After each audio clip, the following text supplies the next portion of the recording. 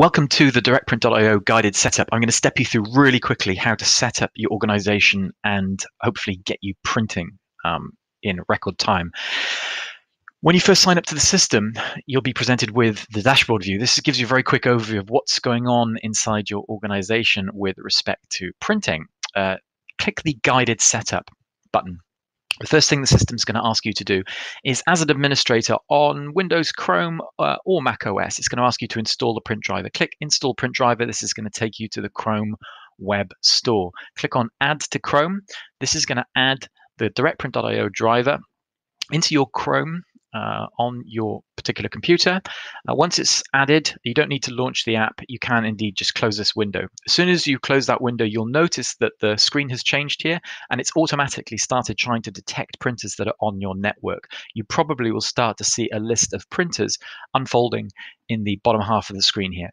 We have a printer that's not currently um, broadcasting its presence on the network. So uh, what we're going to do is we're going to paste in the IP address of the printer and we're going to click test. This has automatically detected the printer and it's detected that it supports PostScript, PDF, PCL5, and PCL6 XL. It is auto-detected the printer driver type. This happens to be a printer that is in our reception area. So I'm going to take uh, R-E-C-E-P-T-I-O-N. I'm going to take the opportunity to rename it at this stage and click Next to add that printer to my organization. The uh, system will automatically add that printer to the print map, and I'll show you what that looks like in a subsequent step. This next step of the setup is asking you to link directprint.io to G Suite. When you're ready, click on I am a G Suite admin. This is going to take you to a standard Google authorization screen if you click use the domain or use the account that you use to administer your G Suite account, this is asking for read-only access to device metadata, or OU structure, organization unit structure, groups, so Google Groups, and users on your domain. This is read-only access. We cannot, DirectPrint.io cannot change anything inside of your G Suite domain. This has now automatically then synced the data from G Suite into DirectPrint.io, and it's begun and it's and it's already listing the available OUs that we have in our system.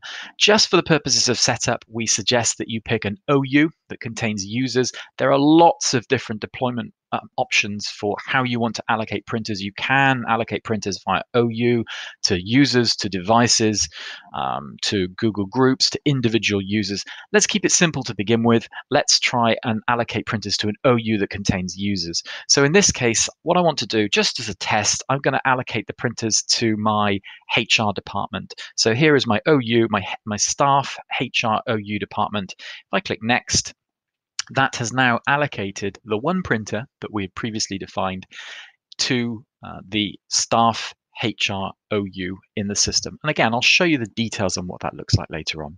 The last step um, to get you up and running would be to force install the DirectPrint application to your um, domain to specific OUs within your domain, or indeed to the root of your domain, that will give all of your users access to the, uh, the DirectPrint application and will automatically begin populating printers into their system.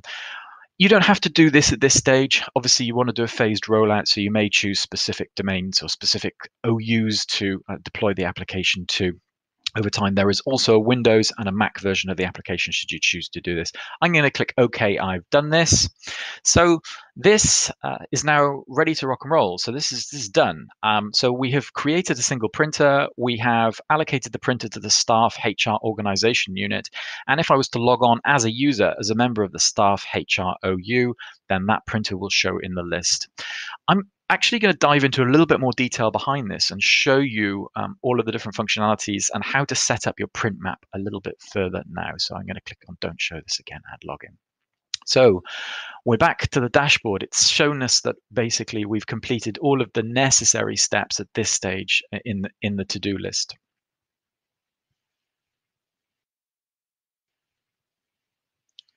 The next step will be to actually fill out your map view. So in the previous step, I allocated printers to my HR department. Um, that's a, a, Google OU. But one of the things that we need to do is actually describe to the system where the printers are at a physical level inside your organization. So this is our printer map, and the printer map describes the physical layout of your organization.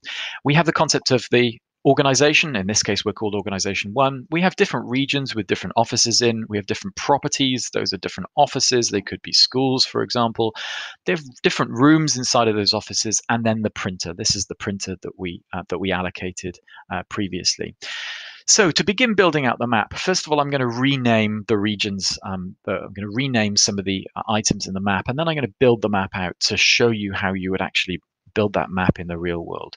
So I'm going to edit this region. This is our um, this is our northwest region. So this contains all of the offices that are in the northwest region of our organization. So I've renamed the Northwest region. Again, if I go back to my map view, you'll see that the change is now being reflected in the Northwest. So this is actually Northwest. This happens to be our Seattle. So this is our Seattle office. Uh, and again, I can update this. Go back to printer, go back to the printer network map view, and you'll see that now I have Seattle, the Seattle office. So we already have a reception printer, and this should probably sit inside of the reception area. So I'm to reception area. I click on update.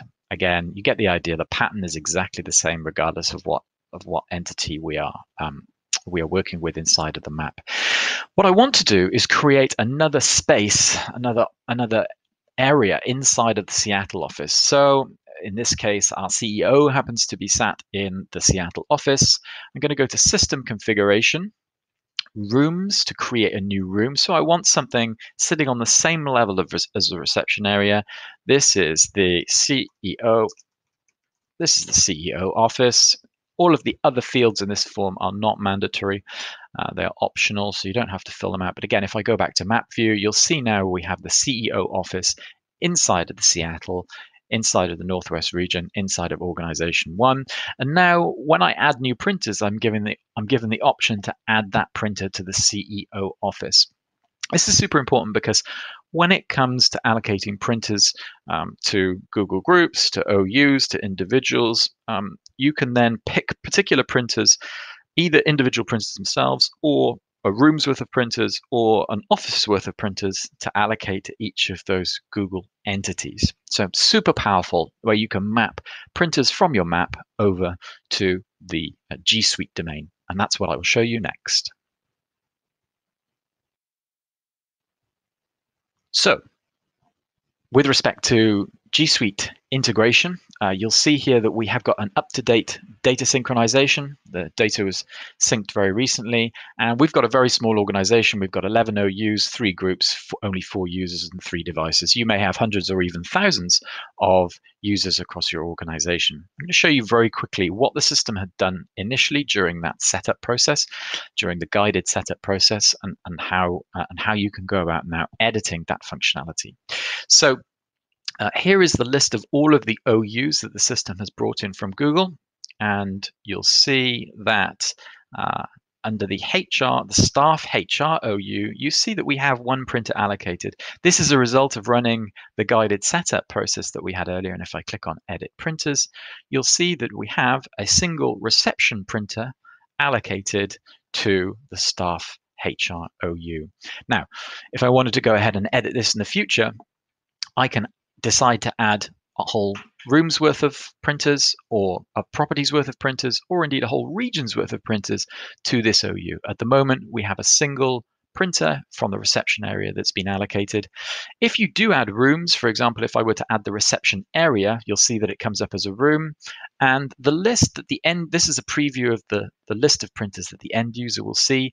It will actually dedupe the printers. So if you add if you add a printer as a printer and then add a printer through adding a room's worth of printers, it will automatically dedupe the list um, for your end users. All you have to do when you when you're editing at an OU level um, is just to click Save Changes, and that's done. That has now deployed the or it's deployed the reception area printer to your H to your HR OU um, from your G Suite domain. And that's as simple as it is. And that pattern repeats for uh, for example, for group printer allocation. So this is a list of all of the Google groups that are defined in the system. Here we have the executive team, we have the HR department, and we have staff. These are Google groups. You can edit them in exactly the same way. So again, if I wanted to give the executive team access to maybe all of the printers in the Seattle office, I can click on Add, this will unroll at the moment just one printer because there is only one printer in our map. I will unroll that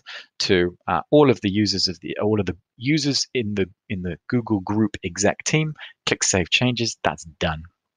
And again, you can change your deployment method. So at the moment, we're deploying printers to G Suite users. So the system will only look at the user and device printer mapping.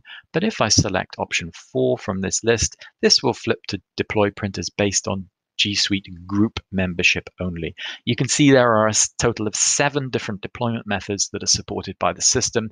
You should be able to find one uh, mode that suits your organization. It will depend on whether you have fixed Chrome terminals uh, where you can do device-based allocation, whether you want to use groups allocation, or whether you want to use OU-based allocation as well. Additionally, we support individual user printer mapping. So you can create exceptions for particular users in your domain. We have a user called James. Um, I can add the user, and if I add the user to the exception list, it will automatically disable printing for James.